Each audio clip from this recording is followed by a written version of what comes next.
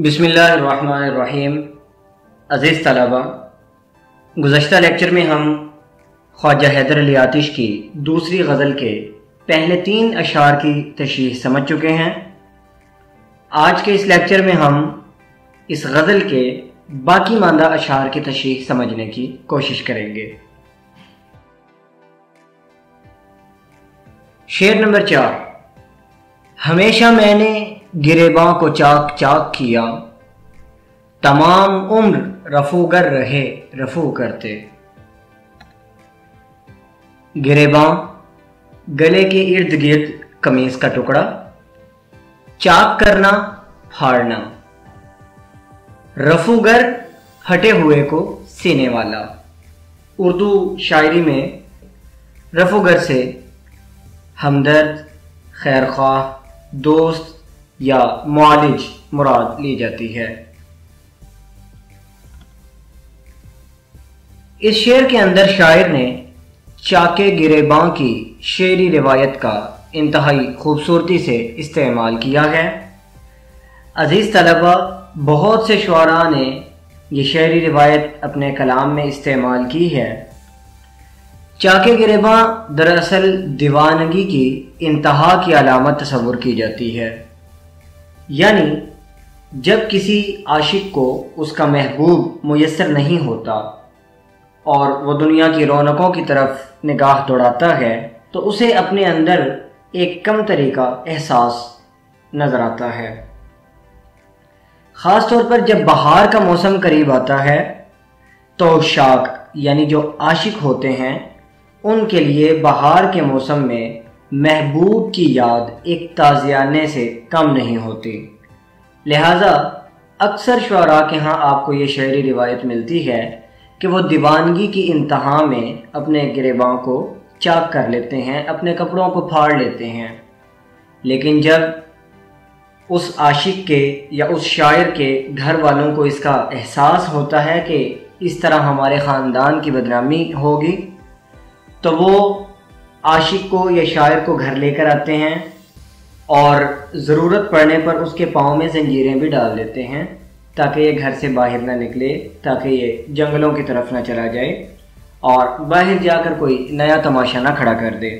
आशिक के घर वाले किसी खैर ख्वाह को बुलाते हैं, किसी हमदर्द को बुलाते हैं, किसी दोस्त को बुलाते हैं, उसे समझाने बुझाने की कोशिश करते हैं और आशिक दीवानगी की इंतहा में जो अपना गिरेबा फाड़ लेता है, उसे रफू भी करते हैं। तो इस शेर में शायर कहता है कि मुझे हमेशा मेरे महबूब की जुदाई का सामना करना पड़ा। कई बहारें आईं, जिसमें मुख्तलिफ़ परिंदों को उनके महबूब फूल भी मिल गए। जैसा कि गुजशत अशार में हम पढ़ चुके हैं कि बुलबुल को गुलाब के फूल का आशिक समझा जाता है। तो बहार के मौसम में चूँकि खुशियों का हर तरफ़ सामान होता है तो ऐसे हालात में एक आशिक को और एक नाकाम आशिक को ख़ास तौर पर एहसास कम तरीका ज़्यादा सामना करना पड़ता है।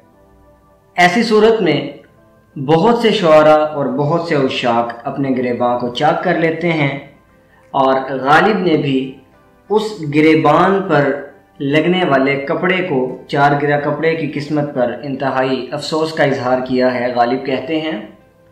हैफ उस चार गिरा कपड़े की किस्मत गालिब, जिसकी किस्मत में हो आशिक का गिरेबा होना। यानी मुझे उस चार गिरा कपड़े की किस्मत पर इंतहाई अफसोस होता है, जो किसी आशिक की कमीज का गिरेबान बनता है। आशिक को जब उसका महबूब नहीं मिलता तो वो दीवानगी के इंतहा में अपने गिरेबान को चाक करता है और गिरेबान पर लगने वाला वो कपड़ा हमेशा टूट फूट का या चाक चाक रहने का तार तार रहने का शिकार रहता है। लेकिन उस आशिक के घर वाले जो रफूगर हैं, वो हमेशा उस गिरेबान को सीने की कोशिश करते हैं। दरअसल वो अपनी इज़्ज़त बचाने की कोशिश करते हैं। लेकिन वो अपने इस मकसद में कभी कामयाब नहीं हो पाते। जैसे कि बताया जा चुका है कि शुरा के लिए ये नाजुक मामला, गिरबान चाक करने का मामला अक्सर बहार के मौसम में पेश आता है। तो एक और शेर में मोमिन खा मोमिन ने भी इस हकीकत की तरफ़ इशारा किया है। कहते हैं, क्या गुल खिलेगा देखिए, है फ़सल गुल तो दूर। और सुए दश्त भागते हैं, कुछ अभी से हम। कहने का मतलब है कि क्या गुल खिलेगा? यानी उस वक़्त क्या मामला पेश आएँगे? है फ़सल गुल तो दूर। फ़सल गुल, बहार का मौसम। बहार का मौसम तो अभी दूर है। बहार का मौसम आ जाएगा तो क्या गुल खिलेगा? तब तो बहुत ज़्यादा तकलीफ़ का शिकार होंगे हम। और सुए दश्त भागते हैं, कुछ अभी से हम। लेकिन हमारी दीवानगी का ये आलम है कि हमें बहार और दीगर तमाम मौसमों से उतनी ही तकलीफ़ होती है जितनी बहार के मौसम में तकलीफ़ होती है। हम तो अभी से जंगलात की तरफ़ भाग रहे हैं। और बाज़ दफ़ा तो मामला गिरबां के नीचे इस हद तक पहुँच जाता है कि वो मामला सिर्फ़ गिरबान की हद तक नहीं रहता, एक कपड़े की हद तक नहीं रहता, बल्कि वो दिल तक चला जाता है। यानी वो जो फटन है, या वो या वो शगाफ है, वो दिल तक पहुँच चुका होता है। शायर कहते हैं मुसाफ़ी हम तो समझे थे कि होगा कोई ज़ख्म। तेरे दिल में तो बहुत काम रफू का निकला। इसी तरह मिर्ज़ा गालिब का एक और शेर है, चिपक रहा है बदन पर लहू से पैरा हन। हमारी जेब को अब हाजत रफू क्या है? यानी अब ये मामला सिर्फ़ कपड़े को रफू कर देने से सुलझेगा नहीं, बल्कि अब तो ये फटन और ये चाक मेरे दिल तक जा पहुँचा है। अगर दिल को आप रफू कर सकते हैं तो वो कर दीजिए। सिर्फ़ कपड़े को रफू करने से अब मामला हल नहीं होगा।